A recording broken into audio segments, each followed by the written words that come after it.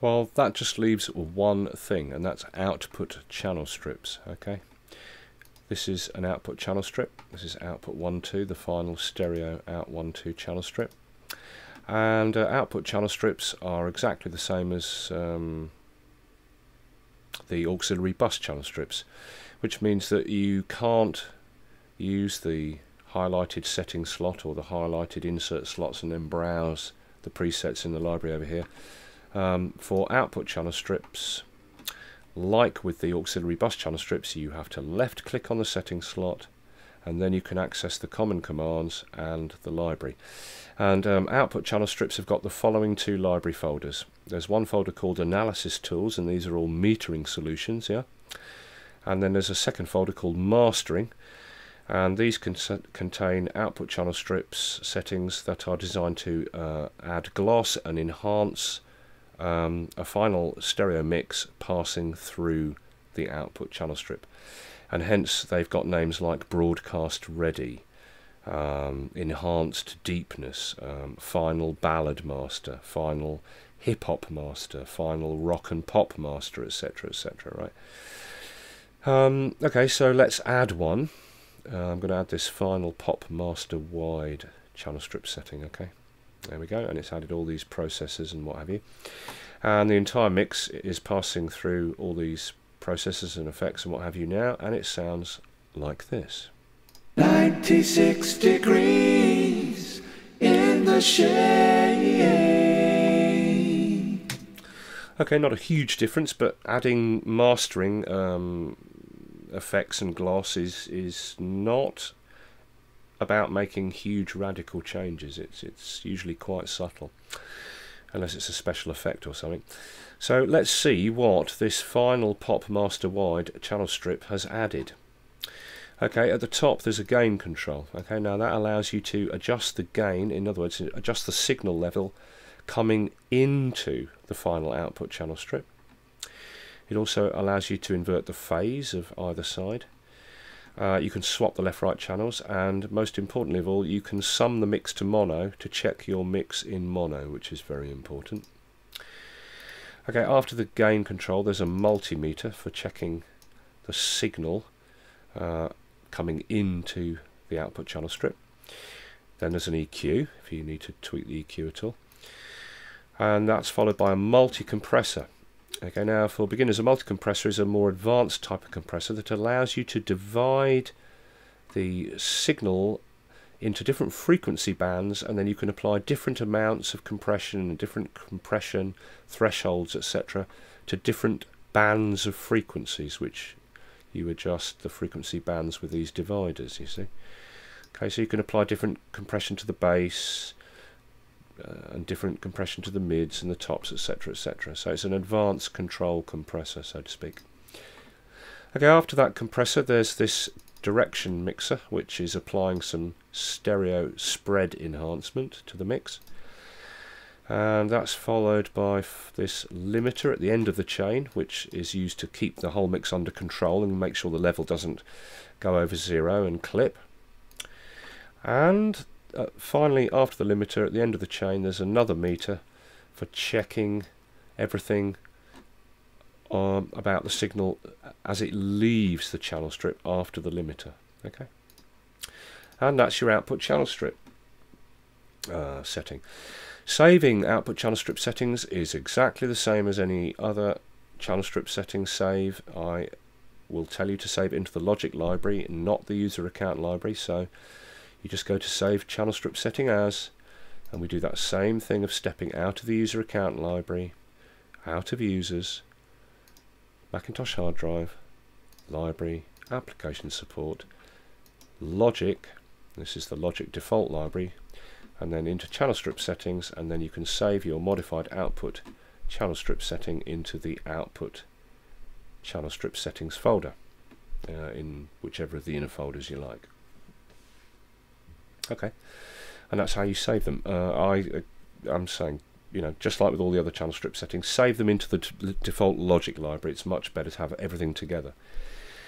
But while we're in this logic default uh, library, you'll notice there's this other folder here of master channel strip settings, which we've not seen so far. I mean, so far we're, we're looking at output channel strips now. Before that we looked at bus channel strips and we looked at instrument and audio track channel strips. But what are these out um, these master channel strip settings? Okay, well let's have a look at that now. Okay, now I'm working with a single stereo sound card, stereo in, stereo out, so I can only have a stereo output available to me. That's the maximum amount of outputs I've got. But when you're working in the box, you're always mixing down to a final stereo output pair, whether or not you've got more outputs available to you. If you do have a sound card with more outputs, Logic will always default to make the first pair of outputs, output 1, 2, the final stereo output pair. Okay. Now, if we just open the mixer, no matter how many output channel strips you're using, because you might be working in the box, in which case you're using a single stereo output channel strip, which is feeding your entire mix out to your left-right speakers, monitors, yeah? Or you might be using multiple output channel strips if you've got a multiple output sound card, and then you might be mixing different things inside Logic to different outputs, sending different things out of the output channel strips out of the outputs of your multiple output sound card and you might be mixing out of the box on a hardware mixer or something. But no matter how many output channel strips you're using, if you're not working in surround, there's always this master channel strip and it only has a fader on it.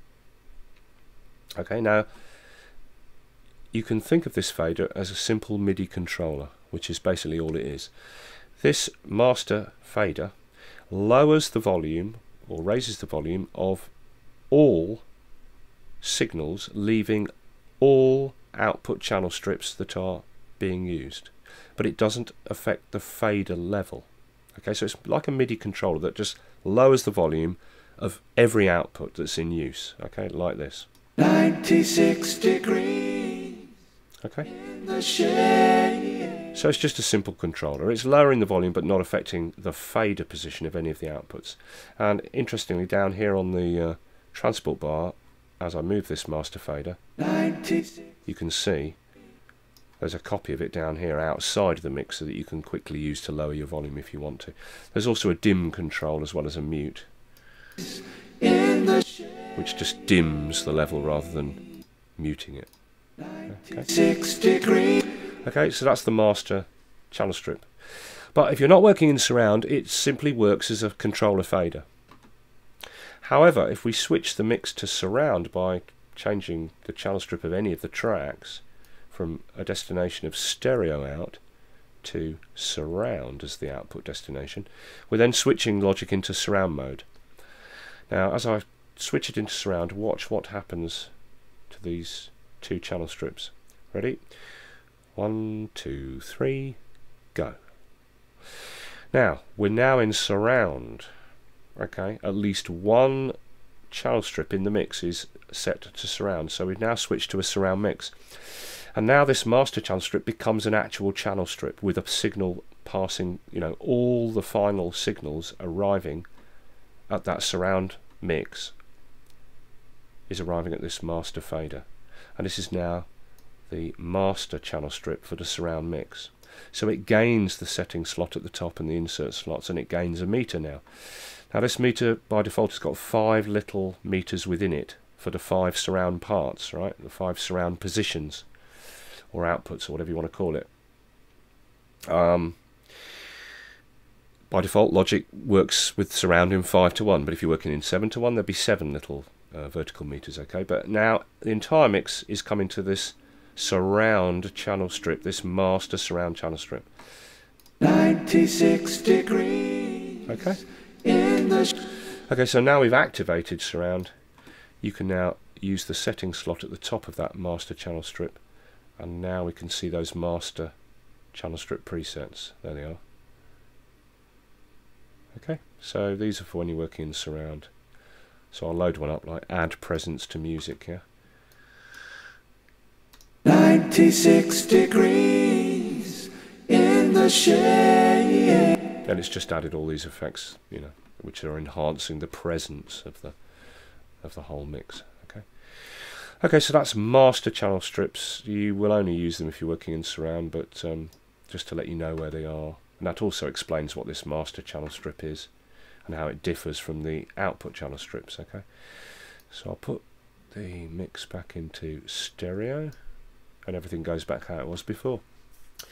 Okay, so that is output channel strips. Um, everything's the same. You've got your same commands, next, previous, copy, paste, reset and save as, etc. And uh, if you want to adjust any of the insert effects, you know, you can't use the library over here, just like with the auxiliary bus channel strips, you have to actually open the GUI of the processor in the slot and then you can access its presets in its own library dialog as we showed before. Okay, so that's output channel strips and the master channel strip and that's your lot apart from one thing which I've been sneakily saving up till the end, and you're going to kick me for this, but um, look, every time we've gone to change, or I mean to save a channel strip setting throughout this tutorial, I've done the same procedure. Save channel strip setting as, and then I've said to you, don't save in the in the default user library, where Logic continually prompts you to save your uh, channel strip settings, but step out of users, go Macintosh hard drive, library, application support, and then go to the Logic default library and save it into the channel strip setting folders there. So it lives in your library with all the original logic channel strips. And it's quite a long drawn out procedure this stepping out of the user library and then into the Macintosh hard drive library application support and into the logic default library okay? Now but I'm going to admit to you now that there's actually a very very quick way of doing that but I've been saving it to the end because when I teach I like to repeat things over again so that beginners get it into their heads. And by repeatedly showing you that procedure of stepping out of the user account library and then into the default logic account library location, you should have got it into your head where this logic default library lives on your hard drive. But now that you know that, I'm going to show you that actually there's a really easy way of saving your channel strip settings in, in the logic library. You can do this either in the logic library here or outside in your Finder view, all you do is you go to Macintosh hard drive, library, application support. There's the Logic default library, and inside it all the library folders, including channel strip settings. All we do is we drag this Logic default library folder across and drop it into places, like I've already done there, yeah, and let go. You know, and then there'll be this shortcut to the Logic default library in your places list and then when you go to save channel strip setting as you haven't got to do all that rigmarole of stepping out of your user account and out of users and then into Macintosh hard drive and then into blah blah blah. All you do is you just click the logic folder here and you're in the logic default library location already just with one click and then you can save into your channel strip settings folder. And you're in the right location. Look Mac hard drive library application support logic, channel strip settings. So there's a little sneaky trick. uh, I said you'd kick me, but you've got it in your head now where that logic library is, haven't you? So, you know, that's how I do it, and there you go. I saved that extra tip up till the end. Okay, so there you go. That's the end of chapter three. We've, we've looked at the whole relationship between these the recorder tracks in Logic, the signal flow, the relationship between the recorder tracks, channel strips and the interaction with the library and everything to do with that. And we've looked at a few other interesting things along the way. So that's the end of chapter 3 uh, and I'll be coming back. And next we're going to be looking at the piano roll and the hyper editor the two main MIDI editors that you use for doing all your MIDI editing and composition yeah? Uh, so um, I hope this chapter has been useful and I'll see you soon for chapter 4 96 degrees in the shade. 96 degrees in the shade. 96 degrees.